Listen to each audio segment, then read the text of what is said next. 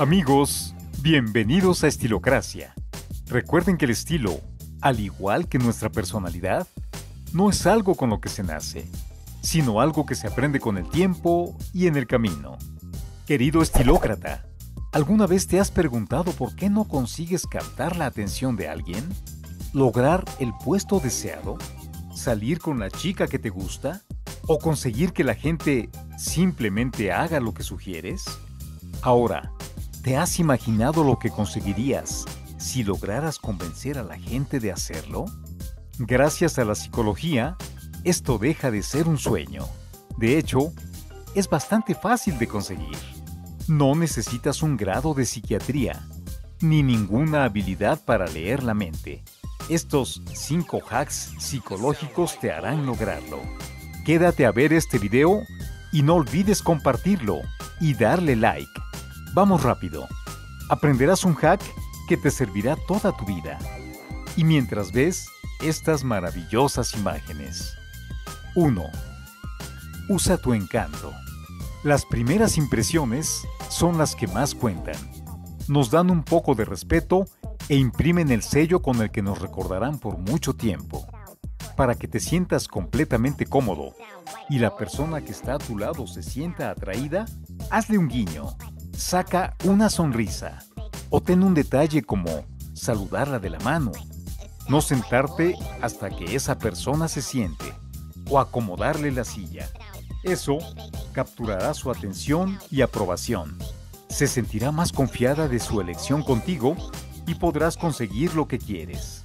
Esto lo conseguiste a su espacio personal e hiciste que pensara lo mejor de ti solo con tu encanto. 2. Haz que acepten tus ideas. Imagina que tienes una idea fantástica que quieres presentar a tus colegas para solucionar un gran problema. Cuando te pones a pensar en el qué dirán, seguro encontrarás a uno que no estará totalmente de acuerdo con ella. Es testarudo y se negará a reconocer que eres perfectamente capaz de tener ideas geniales. ¿Cómo conseguir que piense lo contrario? El truco está en hacerle creer que esa también fue su idea. Cuando propongas tu idea, involúcralo en el proceso. Pídele sugerencias y haz que se apropie de ella. Eso sí, si es preciso y te importa, ten cuidado con el robo de ideas. En el contexto laboral, toma el crédito total de ella y refuerza por qué es tuya sin hacerlo sentir menos. En el contexto personal, quizá la autoría de una idea es lo menos. 3. Usa el silencio para sacar la información que quieres.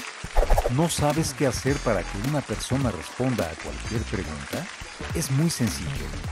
Si estás conversando con alguien y no obtienes las respuestas que esperabas, permanece en silencio mientras hablas sin perder el contacto visual. Eso hará que la otra persona se sienta incómoda y llene el espacio casi de manera inmediata. Ahí es cuando, probablemente, dirá más de lo que diría si se lo preguntaras. Muy pocas personas toleran momentos de tensión así. Toma nota, estilócrata. Técnica es indiscutible. 4. Usa sofismas y haz que los demás crean en ti. Aparentar emplear la razón o argumentos lógicos para apoyar lo que decimos, darles veracidad a nuestras ideas o conseguir lo que simplemente queremos, aunque no tenga congruencia, es una técnica de manipulación bastante buena. Di algo así como, Bill Gates dice que, la ciencia también prueba que, etc. Apelar a la autoridad no siempre es utilizar un argumento lógico. Depende del tema, pero pocas personas saben eso. Juega un poco con la mente del otro. Aprende a hablar con seguridad. Esto es válido para contextos profesionales. En el ramo sentimental, más bien apela a los sentimientos y emociones. 5. Logra ser un líder. Es muy difícil que una persona disfrute de hacer las tareas que tú no quieres hacer, más si son tu responsabilidad. Suena extraño, pero en eso consiste ser un líder. El secreto está en la forma de expresarlo. Esto determinará la probabilidad de que las personas respondan a ello positivamente. En lugar de decirle a tu subordinado o compañero que haga algo por ti, mejor pídele ayuda. Al pedirle su ayuda, estás haciendo que asuman la responsabilidad de la tarea. Di algo como, cuando hayas enviado el correo, necesito tu ayuda en mi oficina. No olvides darle las gracias, pues sentirá un refuerzo muy positivo y una recompensa por lo que acaba de hacer. Amigo estilócrata, estos son los 5 hacks psicológicos que seguramente te harán conseguir lo que quieres. Aunque no hay superpoderes, sí hay códigos no inscritos que puedes reforzar con tu personalidad para lograr lo que deseas.